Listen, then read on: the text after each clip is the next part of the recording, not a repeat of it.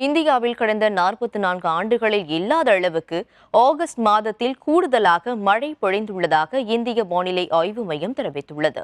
June ஒன்று முதல் August முப்பத்தி ஒன்று வரை இந்தியாவில் பதிவான ஒட்டுமொத்த மழை பொழிவு வழக்கத்தை விட பத்து விழுக்காடு அதிகம் என இந்திய வானிலை ஆய்வு மையம் தெரிவித்துள்ளது.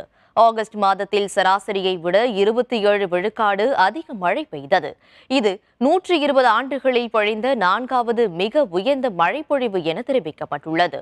ஆகஸ்ட் மாதத்தில் வங்காள விரிகுடாவில் ஐந்து தாழ்வழுத்த பகுதிகள் உருவானதால் அதிக மழை பெய்ததாக இந்திய வானிலை ஆய்வு மையம் தெரிவித்துள்ளது. ஜூலை மாதத்தில் பத்து விழுக்காடு பற்றாக்குறையுடனும் ஜூன் மாதத்தில் வழக்கத்தை விட பதினேழு விழுக்காடு அதிக மழையும் பதிவாகியுள்ளன. தொடர்ச்சியான மழை காரணமாக நாட்டின் பல பகுதிகள் கடந்த மாதத்தில் வெள்ள பாதிப்பை சந்தித்தன.